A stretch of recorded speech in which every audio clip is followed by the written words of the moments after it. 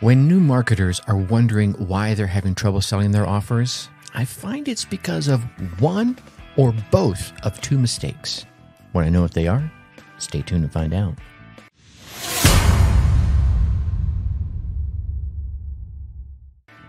What is up? What is up? What the hell is up, my Dark Horse friends and family?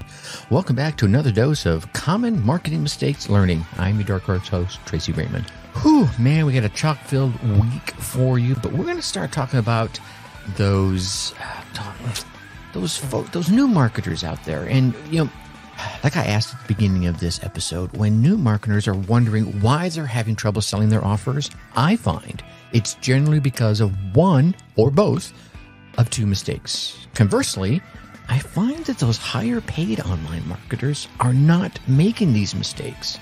Maybe that's why they're so successful. Hmm? But what are those mistakes I can hear you asking out there? Well, let's get right to it, shall we? Mistake number number one. Let me say that again. Mistake number one: focusing on selling your product. Wait, what? Did you say focusing on selling the product? Yeah, I know. It sounds like a stupid uh, reason, right? Why shouldn't you focus on selling the product? Huh? How are you going to make money if you don't focus on selling the product? That's a very good question. But guys, let me ask you this. When you first wanted to build a long term relationship with that lady or that guy in your life, what was the first thing you did? Yeah. Okay. And what else? Yeah. Okay. Wh- while I might not know exactly what you just said because I'm recording this now long before you heard it, what I guarantee you didn't say is you didn't ask him or her to sleep with you right out of the gate. You didn't go out there and propose to them on the first date, and maybe you even did not ask them to move in with you right out of the gate. Maybe you, right? No, you didn't ask any of those. Th- you did. Is that person still your your significant other? Yeah, I didn't think so. Right? Here's what probably really happened. You took that first step and asked them out on a date. Hmm? Yeah, and you made some plans for that date. You'd made sure everything went well. And if the first date did go well, you tried for a second date, and so forth and so on.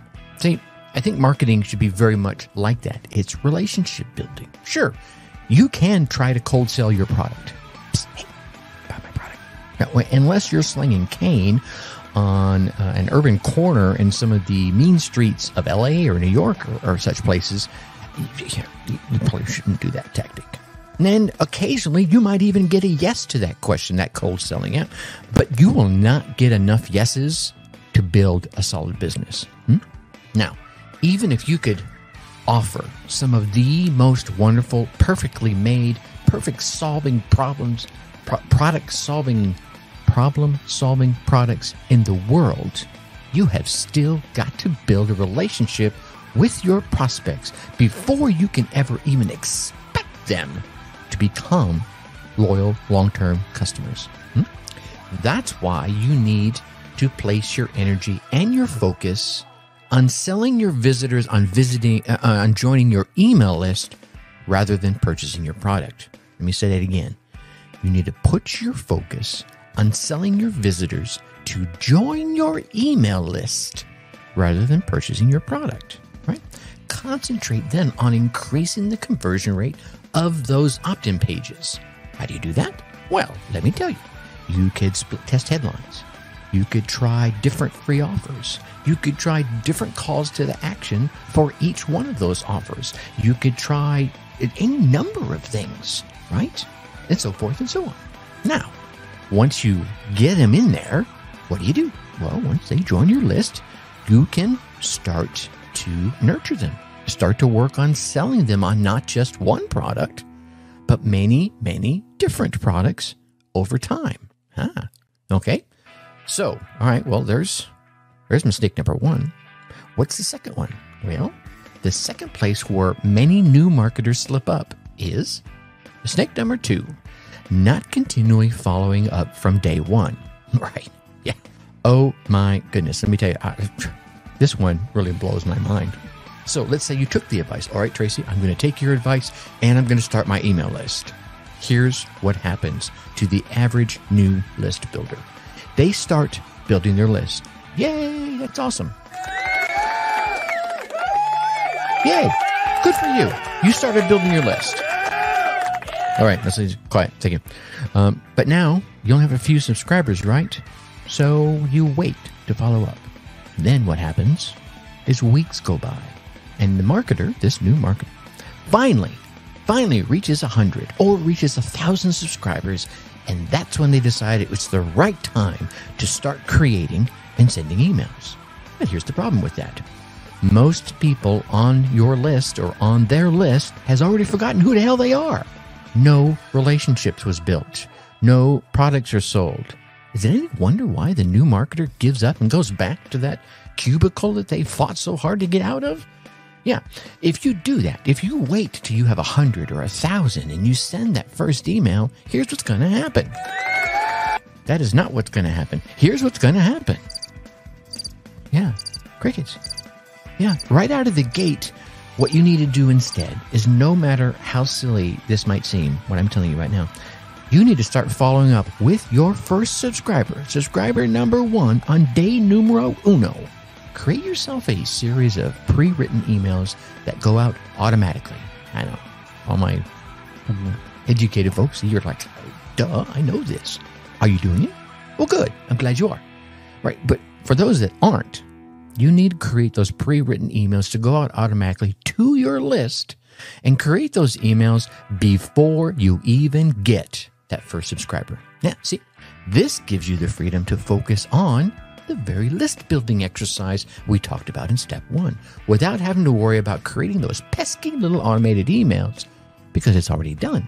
Everyone gets an email the day they sign up, and then every day or however you spaced it out, just like clockwork, as you nurture that relationship, you get that second date and that third date and that fourth date through those emails. They quickly become accustomed to hearing from you and, in fact, begin to expect to hear, hear from you because you're adding value. You are adding value, right? Yeah, of course. And then when you finally send that email to that entire list with your latest offer, they remember you, they connect with you, they're far more receptive to you and what you have to say. not saying they're going to buy everything you promote, but they're certainly, quite possibly, going to be willing to check it out if it's the right time. Let me give you one bonus tip here. This isn't a mistake that our folks made, but here's an extra tip when it comes to this email segmentation, right? Many of you have heard this, some of you may have not. So, as you're going through the testing phase, maybe you try different uh, freebies, lead magnets, right? Maybe you have a lead magnet on list building. Hmm? Okay. Maybe you later on you try a lead magnet on, on podcasting, right? We're going to talk about my world for a minute. And then later on you have a lead magnet about build your own course, you know, tips about that. Now, as you go through those different lead magnets, what you're going to want to do when someone comes in and signs up for your emails, you're going to want to tag them based on what freebie you sent them because that's going to help you help you identify what it is that they're in need of. If someone comes in when you finally drop that podcast, um, how to create your own podcast freebie, well, then clearly you have a, an idea what it is they're interested in. Well, they would like to build a podcast. So you might take that same set of emails that you were putting out about creating their first course and maybe mold them to how to create your first podcast instead. A lot of the same things would apply, right? Okay. And now you could take it one step further, and the products that you would end up promoting, you could customize your message straight to them because you already know they're interested in podcasting. And you have this new product that you're going to be promoting. Maybe it's not yours, maybe you're an affiliate, and you figured out a way how you could use that product to make their podcast process simpler. Maybe it's how they get a better a better guest? Uh, the next level up guest. Maybe it's how they can improve their podcast process. Maybe how they can improve their podcast content. You took the time to figure out how they could use that product inside their world, which is podcasting in that in this example, and they're like, "Wow, I never thought about it that way." So at least they're going to go check it out and see if, well, what what Tracy if I could use it like this. And as they go through that sales page and get that information, they're like, wow, I probably could. And maybe they click that buy button and you get an affiliate commission. Hmm? You see what I'm saying? So make sure you segment your list as they come into your world so you can identify what it is they're really good at. And let me give you one more bonus. This one has really helped my email rates. As you send emails out, and there'll be a subset of folks that will always, always open those emails, you know, at least a high percentage of the time. Segment those guys out, and maybe you have a sub list called has opened. Hmm?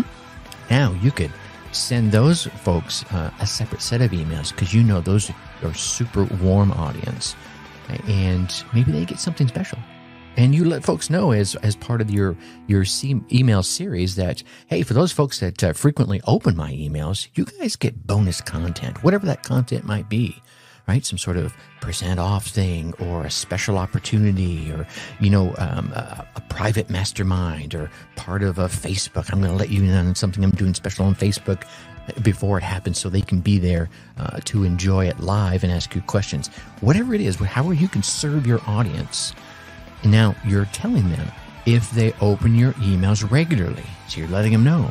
Be sure to pay attention. If nothing else, just open the email.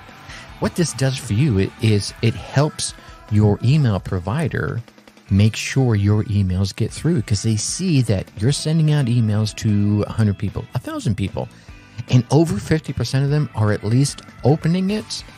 You're a good risk, and they're going to make sure your emails get pushed out more and more often. So when you finally do drop that offer for folks, they're already used to opening your emails. And your email provider is already saying these guys love opening his emails. So they send it out for you. Uh, it's a little sneaky under the uh, radar kind of hack there for you. All right. I've given away too much already. So, like I said, it's going to be a jam packed week. Until next time, think successfully and take action. Thank you for listening to the Dark Horse Entrepreneur Podcast. Thanks for tuning in. Check us out at www.darkhorseschooling.com. All right. My name is Tracy Brinkmann.